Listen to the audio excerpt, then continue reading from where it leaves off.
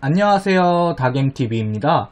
2.1 버전 업데이트를 통해 원신에 새롭게 추가된 낚시 컨텐츠에 관한 가이드 영상입니다.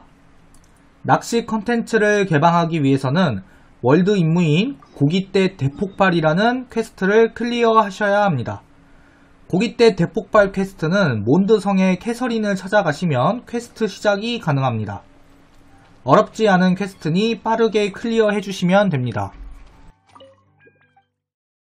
클리어하고 나면 각 지역마다 낚시협회가 생기게 되는데 이곳을 통해서 잡은 물고기와 아이템을 교환할 수 있습니다.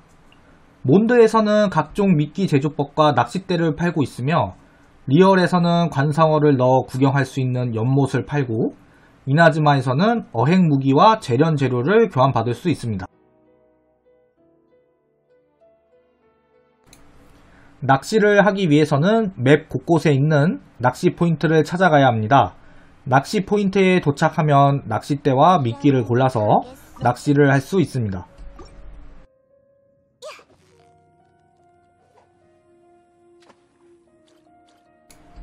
버튼을 꾹 눌렀다 뗐다를 반복하면서 노란색 박스 안으로 게이지를 유지시켜주면 됩니다.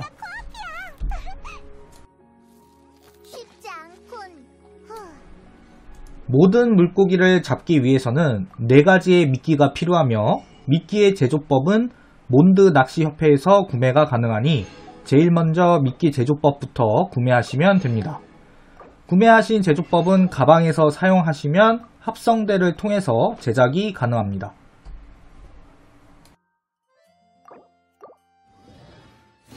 물고기마다 선호하는 미끼가 다르므로 물고기가 어떤 미끼를 좋아하는지 알아둬야 합니다. 구피들은 과즙 미끼를, 가시고기는 적색 다진 미끼, 용물고기와 복어는 가짜 날벌레 미끼, 나비고기는 가짜 벌레 미끼를 먹습니다. 물고기를 잡을 미끼까지 전부 준비가 되었다면 어획 무기를 획득하기 위해 낚시 포인트를 돌아다니면서 물고기를 잡아야 합니다. 낚시 포인트는 27곳이 존재하며 포인트마다 등장하는 물고기 종류가 정해져 있으니 원하는 물고기가 나오는 곳에서 낚시를 하시면 됩니다. 낚시 포인트 27장소와 물고기 출몰하는 종류에 관해서 정리한 영상이 따로 있으니 참고해 주시면 됩니다.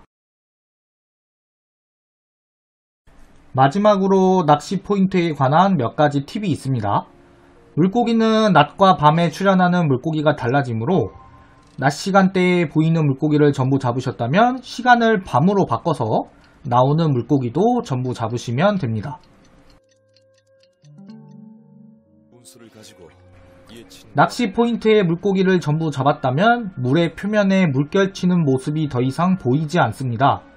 이렇게 되었다면 물고기는 3일 뒤에 regen이 됩니다. 하루 27곳을 전부 돌았지만 이 정도밖에 안 잡힙니다. 다른 사람 월드에 가서 낚시하는 게 아니라면 어획무기 얻는 데는 시간이 많이 걸릴 것 같네요. 낚시 가이드 영상은 여기까지입니다. 시청 감사합니다.